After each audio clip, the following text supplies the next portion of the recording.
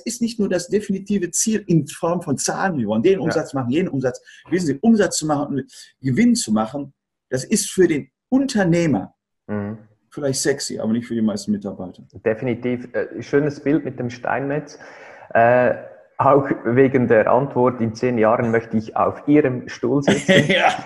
Äh, Sie, können, Sie, können, lachen und ich, ich, bin überzeugt, Sie meinen es ernst und Sie, Sie finden ja. das wirklich ja, eine gute Aussage. Ich behaupte jetzt aber, 90 Prozent der Unternehmer haben ein Ego-Problem und das ist dann natürlich mhm. persönlich. Was, der will mir den Stuhl wegnehmen oder so? Mhm.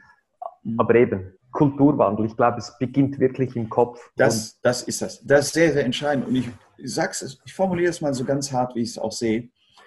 Diese Unternehmer, diese Kulturwandel nicht mitmachen, fürchte, dass in 10 bis 20 Jahren das Unternehmen nicht mehr existiert. Ja.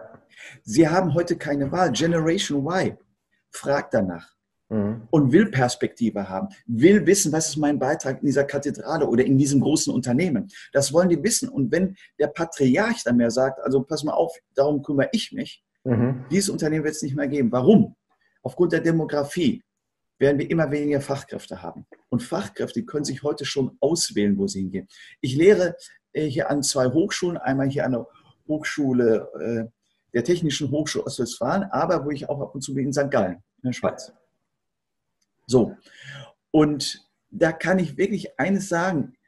Gute Leute, ich unterrichte Master, international mhm. Master, ein Jahr bevor die fertig sind, die haben fünf Angebote. Okay. Die brauchen sich nirgendwo mehr bewerben. Und wenn das ein Unternehmer nicht registriert, ja. dass ich auf die Bedürfnisse der Mitarbeiter eingehe, wird er diese guten neuen Leute nicht mehr bekommen. Und ich sage mal ganz einfach, sein Unternehmen wird aussterben. Ja. Wie ja. die Dinosaurier. Genau. Ja, das ist es. Und man hat heute quasi keine Wahl zu sagen, ach, dieses New Work oder was die jungen Generationen haben, äh, Work-Life-Balance, das finde ich blöde. Mhm. Das ist die Zukunft der Zeit. Man muss mhm. Auf diese Bedürfnisse eingehen. Mhm. Sehr schön. Und wenn wir sagen, okay, es beginnt im Kopf, äh, finde ich gut, wissenschaftliche Daten mal zu, zu Gemüte ja. fügen. Ja. Da kommt mir auch ein Stephen R. Covey in den Sinn, der macht mhm. ähm, weltweite Befragungen, Ranglisten, was sich die Mitarbeiter wünschen. Da steht auf Platz 1 immer bis 4 Stolz, Anerkennung, Respekt, Wertschätzung und Platz 4 ist dann der Lohn. Ne? Ja, genau. Ja. Ja. So, Kann ich voll bestätigen so. Voll okay. Bestätigen.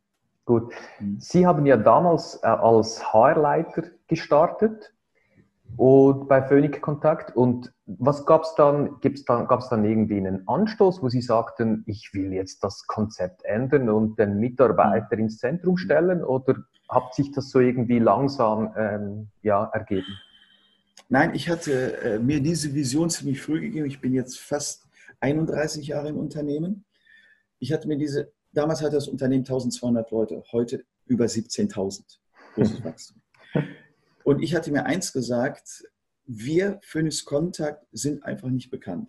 Erstmal reines B2B-Business, mhm. kennt keiner. Sie können unsere Produkte noch nicht mal im Baumarkt kaufen. Erstens.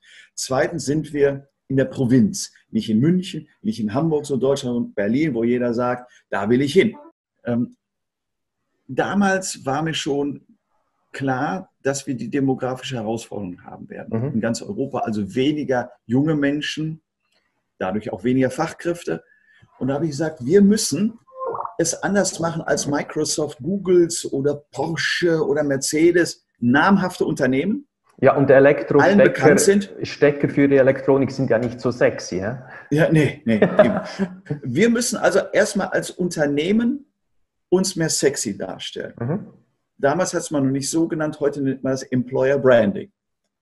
Als Arbeitgeber eine gute Marke sein. Das habe ich damals gesagt, weil wir halt neben dem Nachteil, kein bekanntes Produkt, kein Konsumerprodukt mhm. sind, noch den Nachteil, auch in der Provinz zu sein. Zwei große Nachteile. Mhm.